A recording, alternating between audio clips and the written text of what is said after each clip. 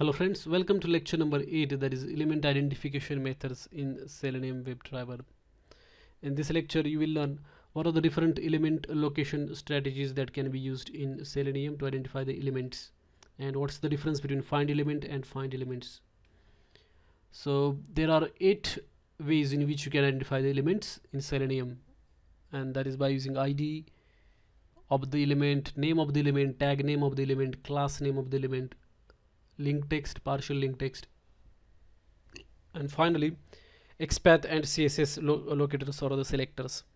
So this last two XPath and CSS selectors we, we will be I will be covering this XPath and CSS locators in next lecture. So in this lecture we will just focus on the first six element locators and then we will also look at the difference between find element and find elements. So to demonstrate this I have got one test method that is test locators and over there what I've done is I have navigated to this particular URL selenium test page and then I have found the element text box element using the ID attribute and uh, I'll explain you how you can do that. So we are navigating to this web page softpost.org slash selenium dash test dash page and over there we have got one form. So let us say you want to identify this text box. For that what you have to do is just right click on that uh, element and then click on inspect. And on the right hand side or the bottom side of the screen you will find this HTML source of that particular element. And as you put your mouse on that element that will be highlighted. As you can see that element is highlighted and you can also look at the source of that element like that tag name of that element then attributes of that element. So this element has got one attribute called as id and its value is fn. So that any element that has got the id can be found in selenium using the id location strategy. So that's why we have used this id fn. And then send keys method is used to send the data in that particular text box then we have used class name to identify the entry title element. Over here we have got one element h1 element.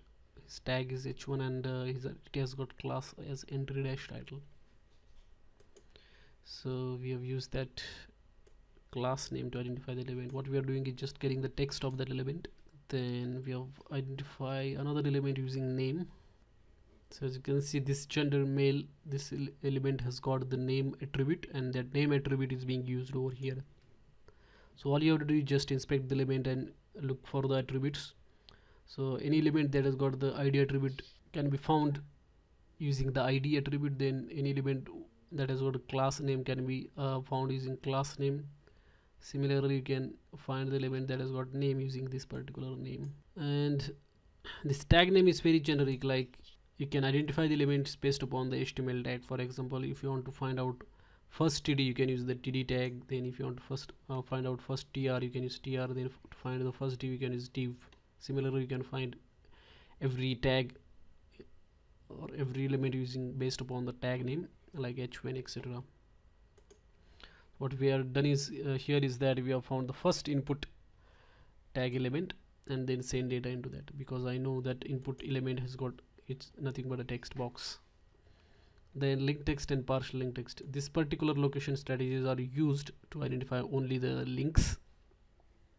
For example over here we have got various links. Git gradle IntelliJ cucumber etc link text is used uh, when you uh, you want to both link text and partial link text are used to identify the links. But main difference between these two is that in case of link text you have to give the full uh, link text like git or in this case ios automation using Appium but in case of partial link text you don't need to give the full name of the link. You can give the partial link name.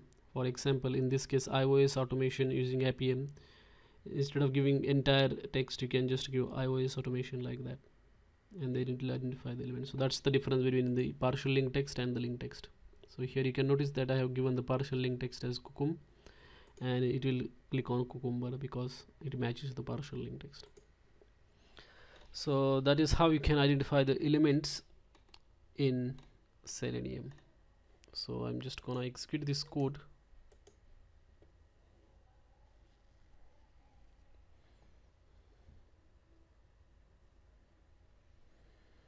And what it will do is it will enter hello in the first name edit box then as you can see it entered user then it is clicking on git link and then finally it will click on, click on cucumber link using the partial link text location strategy.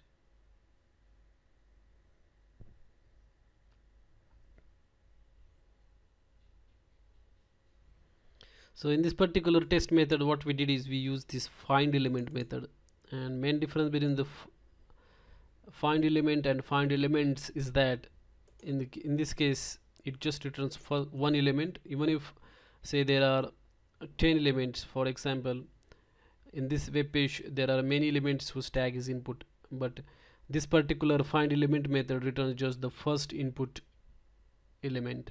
So if you want to get all the elements then you can use find elements method. And I've got one test method for that. As you can see over here I have used find elements. Note this s over there what I've done is I have found all the elements whose tag name is e that is links and it returns the read-only collection. So you need to use this particular class and it returns the collection of the type web element. After they are getting the uh, collection what I'm doing here is I'm printing the total number of links using links.count and uh, finally I'm also printing the text of the each link. So I'm just gonna execute this particular code. All it is doing is uh, going to that particular URL homepage of the softpost.org then printing the total number of links or the a tags and finally it is also printing the text displayed in those tags